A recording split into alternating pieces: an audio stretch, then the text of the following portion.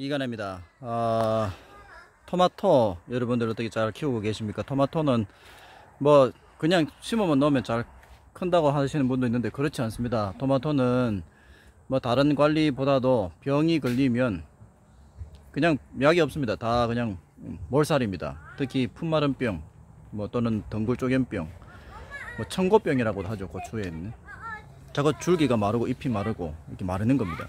어떠한 약도 없습니다. 보통 이제 비가 오거나 또는 흙을 통해서 이렇게 옆에 하나가 어, 발생이 되면 옆에 것도 다 이렇게 옮겨 가지고 결국에는 전체 토마토가 다 죽게 되는 경우가 많습니다. 저희 집 토마토인데요. 뭐 대추나무 이렇게 대추밭 한가운데에 화분으로 이렇게 어, 화분 재배를 토마토를 합니다. 했습니다. 올해는 특히. 잘 달립니다. 잘 달리고요.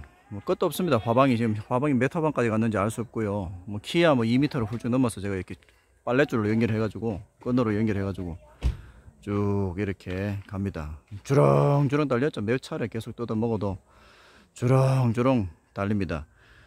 왕토마토도 이게 잘 됩니다. 왕토마토도 네, 왕토마토도 굵게 굵게 이렇게 잘 달립니다. 이게 칼슘이 부족하면 토마토가 여기에 썩죠. 이렇게 까맣게 썩으면서 토마토가 다 썩어버립니다.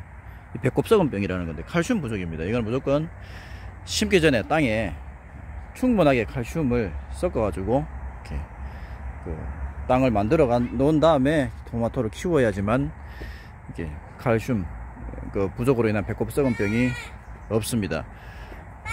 뭐 붕사라든지 칼슘이라든지 이런 미량 요소들은 충분히 토마토를 심기 전에 예, 여러분들이 땅에다가 이렇게 충분히 넣고 땅을 준비해서 토마토를 심어야 썩은 병 없이 이렇게 주렁주렁 달립니다. 거 많이 달렸지? 엄마가 다 달대. 아빠 저 이게 다 썼어요. 어 그래요?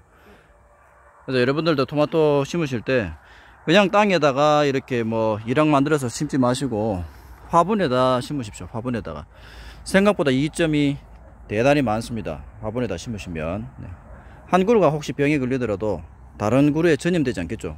화분과 화분 사이에 거리가 띄어져 있으니까요. 그래서 또 화분 재배하시면 화분 안에 흙, 을 내가 뭐 어, 충분하게 토마토가 잘 클 수 있도록 흙을, 흙을 내가 배합을 해서 만들어서 화분에다 채워 놓으면 또 뭐 토마토가 잘 성장도 할 수 있고요. 순 키우기도 좋고. 그 다음에 공간 활용이 제일 좋잖아요. 토마토 여러분들 키우실 때 밭에 이렇게 뭐 아까운 이랑들을 토마토로 잡아 먹고도 없이 이랑이랑 사이에 그냥 골에다가 화분을 배치해둬도 되고요. 그렇게 하면 되니까 화분에다가 이렇게 지주대만 꼽으면 됩니다. 지주대 2m짜리 지주대 꼽아가지고 이렇게 토마토 키우시면 되니까 혹시 내년에 토마토 키우실 분들은 화분 재배 제가 추천을 해, 해 봅니다.